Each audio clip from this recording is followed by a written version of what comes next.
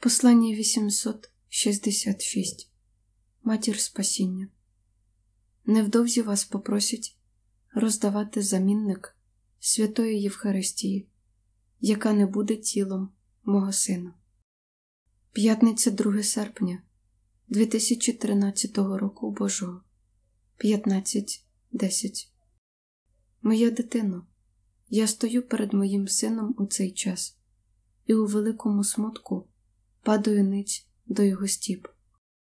Так само, як я повинна була стати свідком Його агонії біля підніжжя Христа під час Його страшного розп'яття, так само зараз я повинна перенести Його біль ще раз.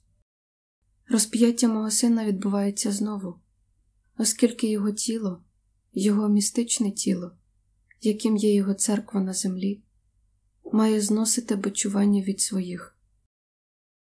Вони, вороги в його церкві, будуть бичувати його тіло, шматувати його, жорстоко знущатися над ним і осквернять його перед тим, як відкинути на узбіччя. Церкву мого сина будуть зараз бичувати, і це стане першим етапом його розп'яття на землі в ці часи. Вони візьмуть його тіло у святій Євхаристії і ображатимуть та принижуватимуть його. Багато ознак цього буде видно, оскільки вони використають усі можливі, зневажливі та підлі жести, щоб проклинати його. Коли вони осквернять його пресвяту Євхаристію, а потім її позбудуться, то згодом буде дуже важко її отримати. Це тільки один з багатьох планів, спрямованих на усунення присутності мого сина у святій Месі, Божественній літургії. Багато хто помітить ці нечистиві жести і знатиме, що вони ображають мого сина.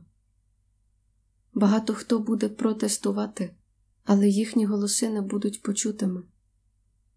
Ви, бідні священники, які будете страждати через це осквернення, повинні просити мене вашу матір, щоб я допомогла вам знести цей біль.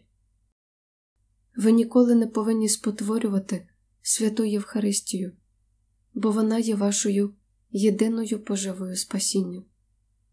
Без неї ви будете голодувати. Вона повинна завжди бути доступною для кожної Божої дитини.